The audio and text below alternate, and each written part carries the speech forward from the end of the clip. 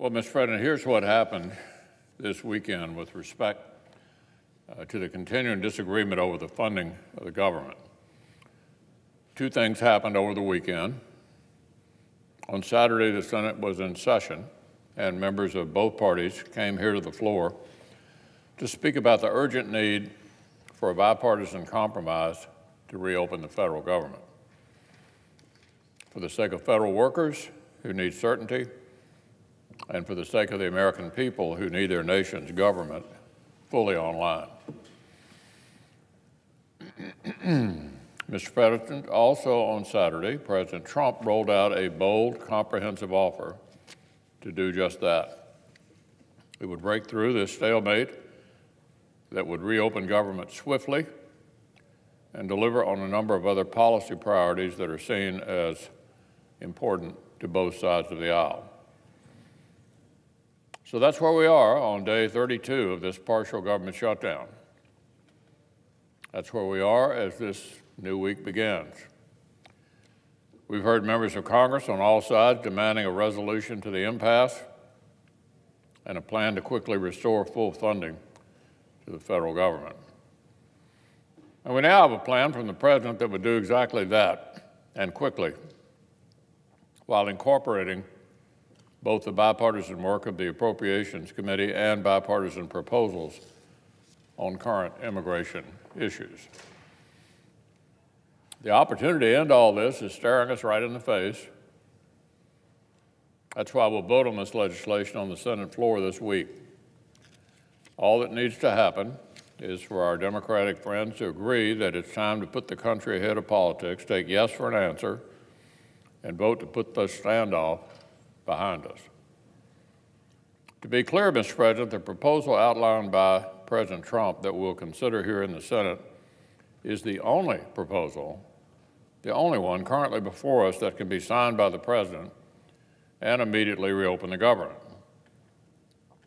First and foremost, it's the only proposal that would reopen the government fully and immediately.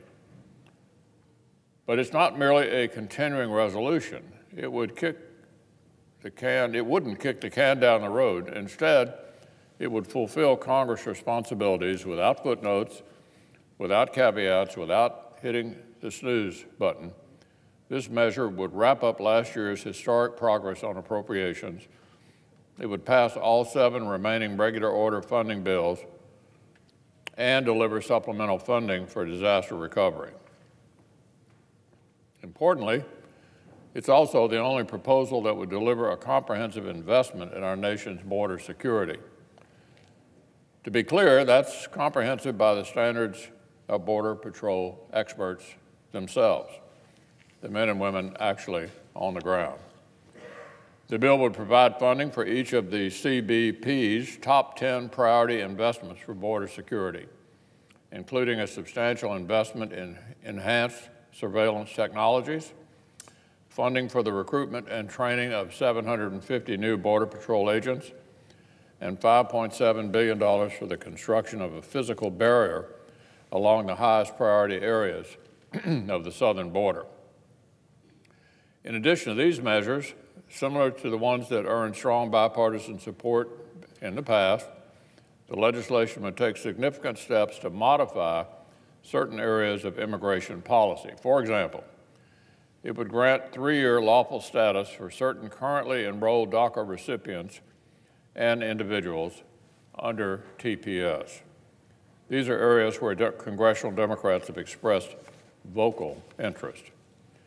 Now they are included in a comprehensive proposal to open the government, fulfill our promise to federal employees, and address the humanitarian and security crisis at our southern border. It's a proposal that the President will support as I've stated consistently over the past month, that fact will earn it consideration here in the Senate. A fully reopened federal government, certainty and stability for federal employees once again. The bipartisan appropriations legislation this body worked out together, the full investment in border security that the experts on the ground say they need, and changes to our immigration policies that are similar to the ones Democrats have themselves been fighting for in the past. To reject this proposal Democrats would have to prioritize political combat with the president ahead of federal workers, ahead of DACA recipients, ahead of border security, and ahead of stable and predictable government funding. Is that really a price that Democrats want to pay to prolong this episode, which they say they want to be over and done with? Is their plan truly to throw federal workers, DACA recipients, Customs and Border Patrol, and indeed all Americans under the bus just to extend this run of political theater so they can look like champions of the so-called resistance? Well, that's what some leading Democrats tried to assert right out of the gate before they'd even really studied the president's new proposal. Speaker Pelosi came out right away and tried to rally her troops. She immediately described the president's proposals as unacceptable. Unacceptable. Well, that's not exactly surprising, considering that just a few weeks ago the Speaker went out on a limb and declared that physical border security is on its face an immorality? An immorality?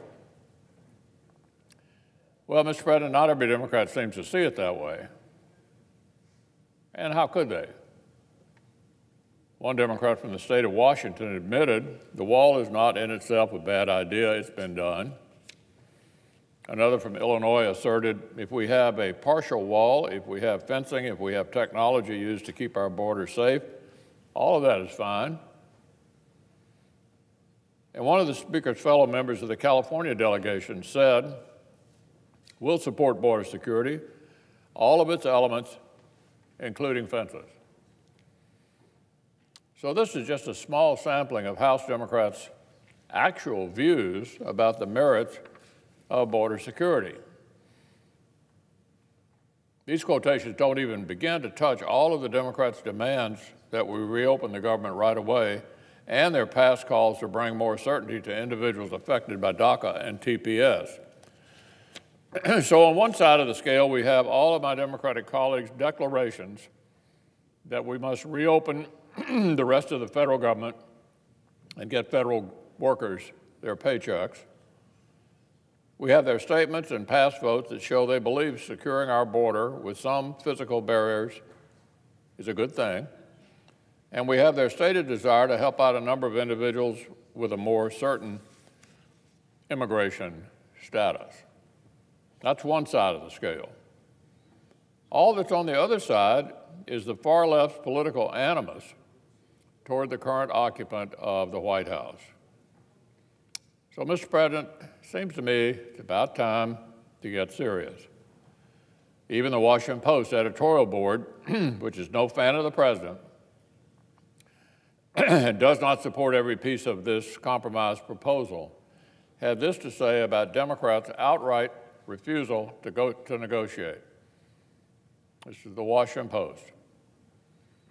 To refuse even to talk until the government reopens does no favors to the sidelined federal workers and contractors.